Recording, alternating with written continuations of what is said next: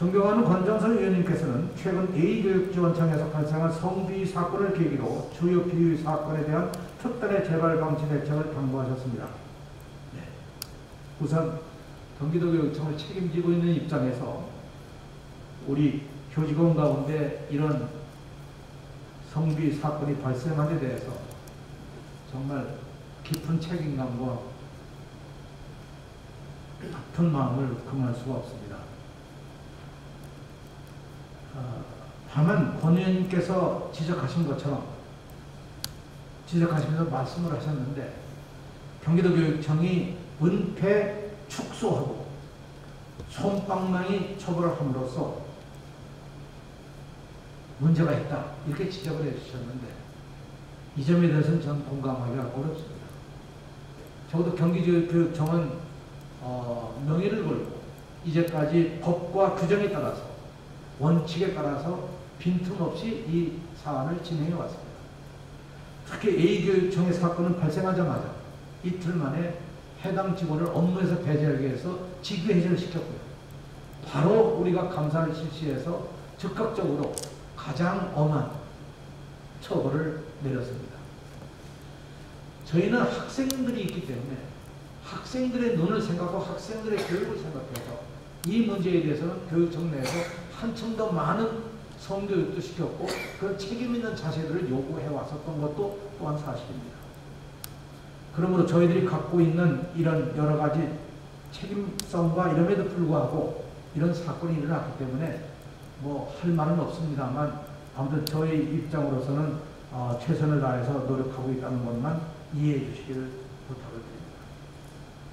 더군다나 이런 비리 사건에 대해서는 무관용 원칙을 적용해서 징계의 의결을 요구하고 있고 어, 관련 부서 간에 협조해서 필요시에 제도를 개선하는 등 여러 가지 재발 방지를 노력하고 있다는 것도 말씀드립니다.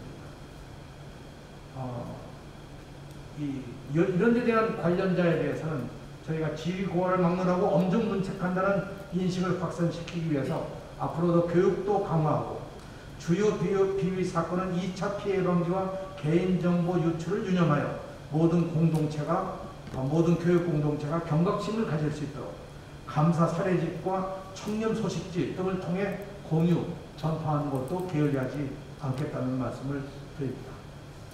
이상으로 존경하는 권정선 의원님의 질문에 어, 답변을 마치고요. 그 밖에 권정선 의원님께서 질문하신 외국인 유아학비 지원과 코로나 이후 교육의 방향에 관한 사항은 교육과정국장이 코로나 관련 방과 후 학교 운영에 관한 사항은 미래교육국장이 어, 소상하게 답변을 올리도록 하겠습니다.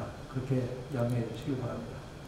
다음으로 존경하는 유근식 의원님의 질문에 어, 답변을 드리도록 하겠습니다.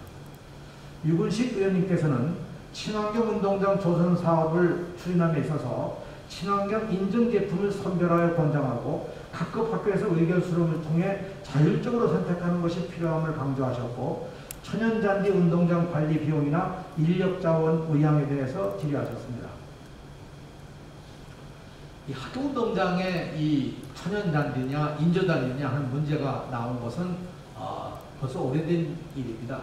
이 인조잔디에서 유해물질, 특히 암 유발, 암 유발을 하는 그런 물질이 발, 발견됐기 때문에 이것을 어떻게 해소하느냐는 것이 큰 과제였습니다. 가장 큰 문제가 된 것이 접착제의 문제였습니다. 그래서 교육부와 우리 교육계에서는 이것이 어떻게 해소될 수 있겠느냐 하는 걸 가지고 이것이 완전히 유해 물질을 발생하지 않는다는 보장이 있을 때까지는 이, 이, 이 인공잔디나 혹은 이런 어, 우레탄이나 이런 물질들을 사용할 수가 없다 하는 것이 교육부의 입장이었고 그것이 아직까지 변하지 않았습니다.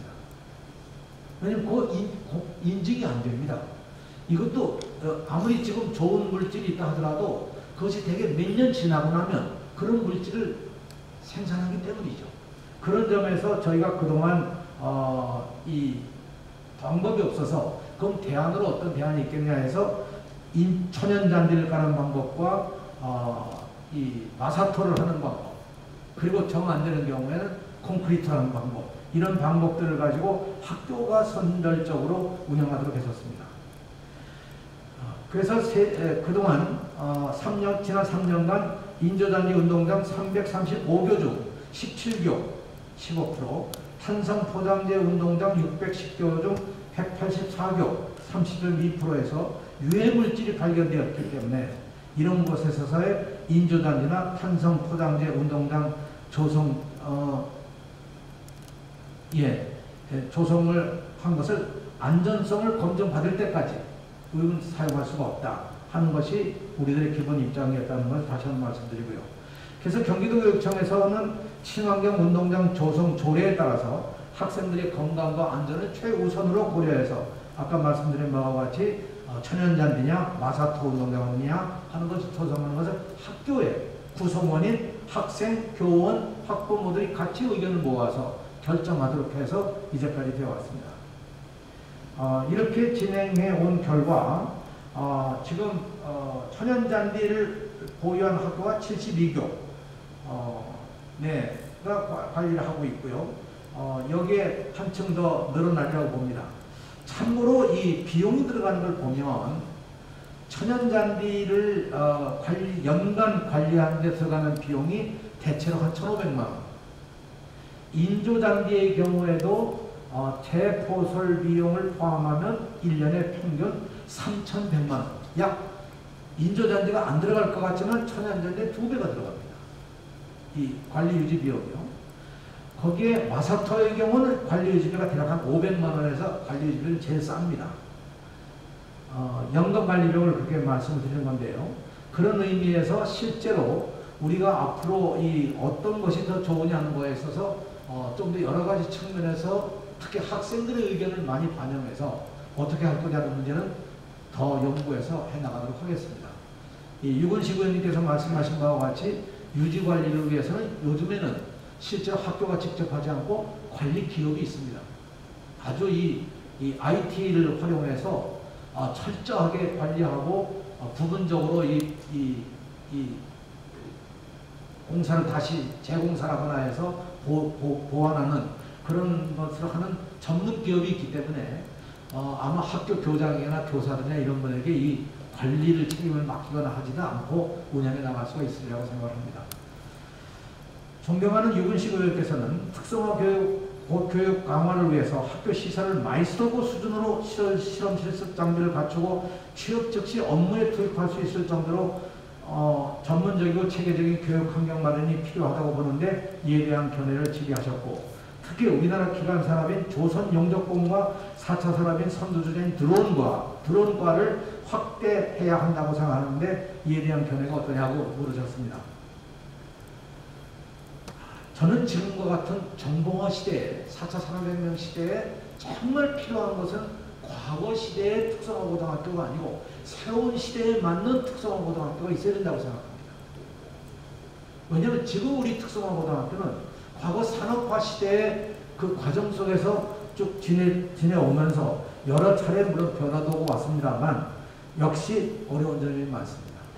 우선 특성화고에 들어가는 학생들 자신이 자신감을 못 가집니다. 왜냐하면 미래가 불투명하기 때문이죠. 여기다 마이스터 고등학교를 소수로 만들어서 그 소수에게 정부가 막대한 돈을 지원하는데 사실 우리 예산으로는 특성화고에 현재만 하더라도 일반 고등학교보다 10배의 예산을 지원합니다. 그래도 못 따라갑니다. 현실을 따라갈 수가 없습니다. 그런 점에서 지금 말씀하신 것과 같이 모든 특성화고를 마이스터고 수준으로 좀 한번 밀어줄 수가 없냐. 이건 아마 특단의 어떤 어, 정책적 예산이 교육부로부터 확보되지 않는 어려울이라고 생각을 합니다. 다만 유 의원님이 말씀하신 이런 내용들이 얼마나 어, 심각한 내용이냐는 것을 지적하신 걸로 저희도 알고 특성화 고등학교를 변화시키기 위해서 저희가 미래 사회, 미래 경제, 미래 산업 이런 것들을 염두에 두고 이런 상황에서 특성화 고등학교를 근본적으로 어떻게 개혁할 거냐 이 일을 위해서 전문가와 우리 학교에 대표하는 이런 진로교육을 하는 대표적인 분들과 함께 진로교육 체제 전환을 위한 TF를 만들어서 지금 저희가 운영하고 있습니다.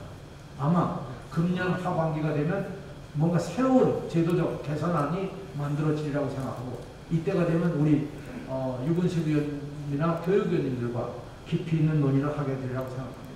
특히 이런 고- 이런 개편의 계획은 4차 산업혁명의 변화와 혁신 속에서 정말 학생들의 진로를 어떻게 만들어 줄 거냐. 그걸 위해서 어떻게 교과 교육과 현장 체험 교육과 이것이 서로 맞물려서 그야말로 학생 개개인에게 맞는 맞춤 교육을 만들어 갈 수 있겠느냐.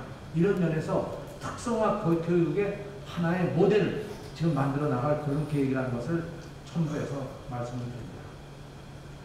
어, 참고로 현재 저희가 특성화고에 대한 지원이 필요하기 때문에 2021년 실습 기자재 확충을 위해서 92개 교회 56억 원을 별도로 지원하였고요.